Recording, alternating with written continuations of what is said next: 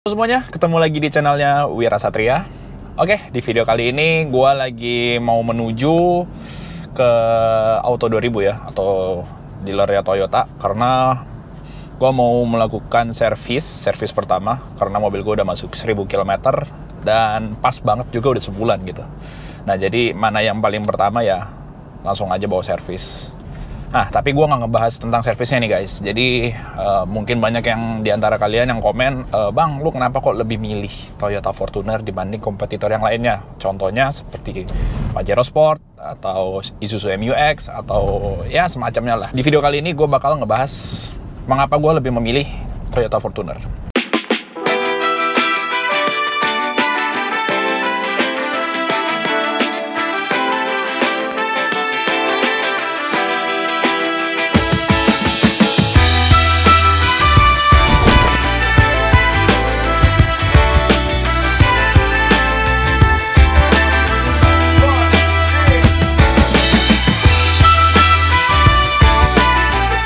Oke okay guys, jadi uh, mungkin banyak yang di antara kalian juga bilang, bang kenapa nggak ngambil Pajero aja bang? Padahal Pajero tuh lebih ngacir, lebih ngebut, dan lebih cakep. ya, jadi banyak banget ya itu yang komen gitu. Oke, okay, jadi gue bakal ngasih tahu ya. Ini soalnya ini dari pribadi gue sendiri, mengapa gue lebih memilih si Fortuner ini. Oke, okay, jadi yang pertama yang akan kita bahas adalah dari desain eksterior mobil ini. Ya, gue lebih seneng sama desainnya sih Toyota Fortuner ini nih guys. Oke okay guys, jadi gue lebih senang sama desain eksteriornya si Toyota Fortuner ini. Kenapa? Kalau gue perhatikan itu dari bodinya, dari lampunya, grill depannya, dengan aksen grillnya itu yang warnanya juga udah dark chrome, terus lampunya juga udah full LED dari sen, lampu rem, lampu mundur, dan lampu biasanya juga udah pakai LED semua. Sama mobil ini juga kan uh, bisa dibilang tuh teririt ya. Itu di kelas mobil diesel. Kalau gua lihat-lihat di internet sih ya cuman gua nggak tahu lagi. Tergantung kaki juga sih kalau mau ngegas gitu. Nah jadi ya seperti itu. Dari desain interior dari desain eksteriornya gue lebih memilih sih Toyota Fortuner ini. Oke kita sekarang ke bagian interiornya kali ya kalau dari interior sih dibandingkan sama Mitsubishi Pajero atau ini sama-sama bagus sih.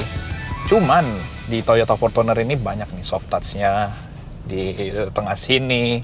Setirnya juga enak nih, ada kayak benjolannya gini. Enak juga digenggam, terus ini ada panel-panel kayunya gini ya. Terus ini di atas ini juga ada soft touch, cuman sini nih sih masih para keras-keras semua nih gitu. Cuman ya gue nggak mempermasalahkan sih. Nah jadi kalau gue kemarin sih udah nyoba Pajero punya saudara gue sih. Uh, itu rata-rata tuh depannya tuh nggak nggak soft touch semua jadi keras gitu. Cuman ya kembali lagi ke selera masing-masing. Terus ini juga kita bisa lihat ya di tengah sini udah ada jam. Ya ini dari Fortuner Fortuner lama nih sebenarnya udah lama banget jadi nggak dihilangkan gitu. Setahu gue juga Innova juga sama seperti itu. Ada jamnya juga di tengah. Oke ya jadi seperti itu dari desain interior gue juga lebih suka sama si Toyota Fortuner. Ya, mungkin kalian juga nggak tahu ya suka suka sama yang Pajero juga. Nah, terus kita ke bagian head unit. Ini head unitnya di sini ini gede banget apalagi yang punya all new all new Toyota yang udah facelift nih dia juga udah integrated sama Apple CarPlay, sama Android Auto, ada SDL-nya juga, Smart Device Link. Jadi menurut gue ini udah canggih banget. Dan di sini tuh udah dilengkapi sama kamera 360. Jadi kalau misalkan kita lewatin jalan sempit atau jalan yang curam kiri kanannya tuh aman gitu.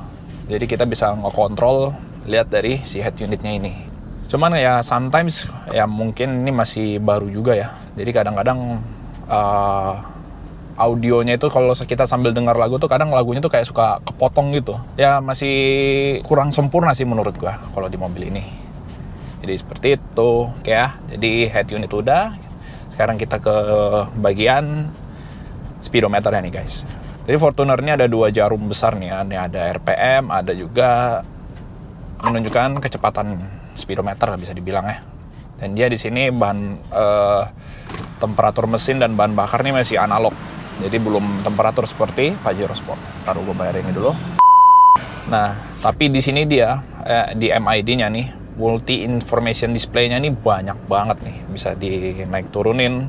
Ini ada current, terus range-nya ini mobil, eco indicator, eco saving, terus ini juga ada indikator ini ya angle bannya nih seperti apa terus di sebelah kirinya ini ada gambar mobil nah ini pintu ini masih keadaan ketutup semua. Mungkin kalau eh nanti kalau kebuka pintunya ini dia ada merah. Nah itu pintunya terbuka. Terus di sini juga ada digital speednya nih guys. Jadi mungkin di Fortuner yang sebelum ini dia belum ada digital speednya. Canggih juga sih. Terus di sini juga ya ada warning juga ya no message.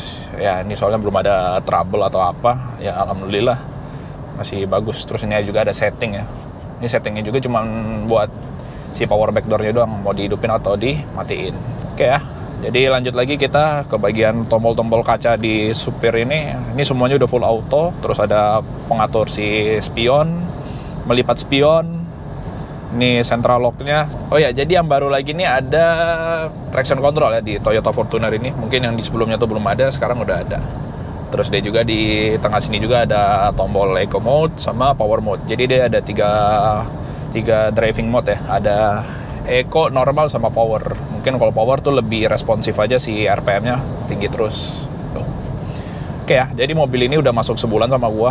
Uh, dari pertama beli tuh udah berapa kali ngisi ya?